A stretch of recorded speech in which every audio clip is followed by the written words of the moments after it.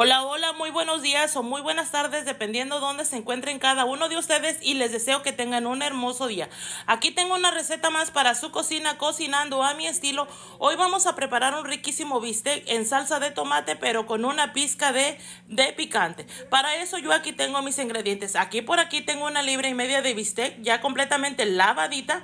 Y también por allá tenemos cuatro tomates, cinco chiles de árbol, dos guajillos, dos ajos y un tercio de cebolla. Por allá también tenemos tenemos ajo molido, pimienta y sal. Aquí tenemos la mitad de un cuadrito de consomé de tomate y la mitad de un cuadrito de consomé de pollo. Ahora sí, para empezar nuestra receta, vamos a poner a calentar nuestro sartén para poner esta salsa un poquito que se nos guise. En un sartén hondo vas a poner un poquitito nada más de aceite, lo que viene siendo media cucharadita sopera de aceite. Como puedes ver por aquí, yo mis tomates ya los partí a la mitad y los voy a vaciar en el sartén. Ahora sí, vamos a taparlo por aquí y vamos a dejarlo entre 8 a 10 minutos. Estará listo para licuarlo. Acá por acá vamos a, a picar nuestra carne.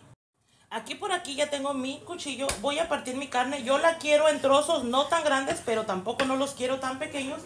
Ahorita te voy a decir del tamaño que yo los voy a cortar. Más o menos los voy a cortar así, que, que guisado ya va a estar como a la mitad. Recuerda que la carne se reduce. Vamos a, a partir nuestra carne. Aquí como puedes ver ya tengo mi carne picadita en cuadritos, más o menos, no tan grandes pero no tan pequeñitos. Vamos a reservarla, vamos a poner un sartén a calentar para guisar nuestra carne.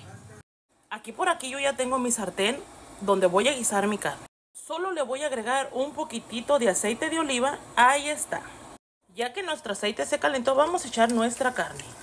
Vamos a ponerle solo un poco de pimienta y recuerda que la pimienta ya es al gusto de cada quien y si no te gusta la puedes omitir, no pasa nada. Yo le pongo porque da un sabor riquísimo, pero también sin pimienta queda muy rica.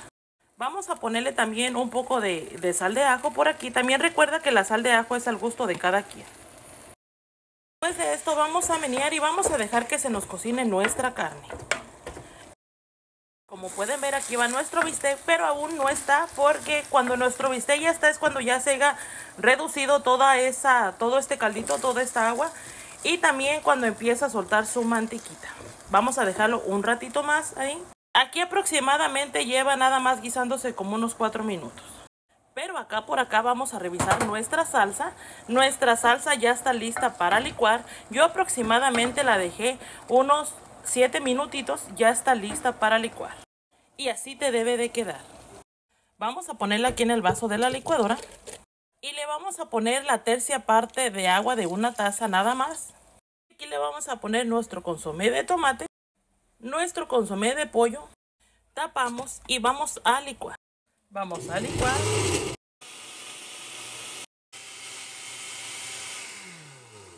Apagamos y reservamos.